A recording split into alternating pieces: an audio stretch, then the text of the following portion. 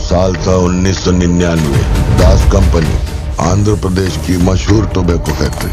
और उस साम्राज्य का इकलौता बादशाह, एंटनी एंटनी दास। एंटनी का एक बेटा था।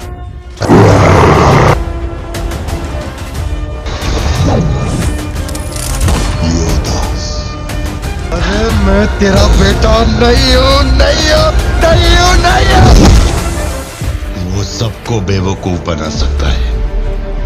दुनिया को बेवकूफ़ बना सकता है।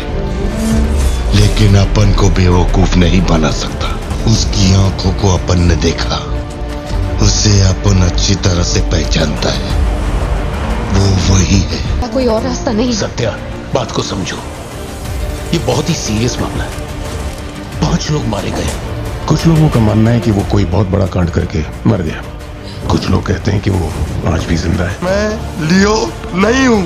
और कोई मेरे जैसा दिखता है तो मैं क्या करूँ?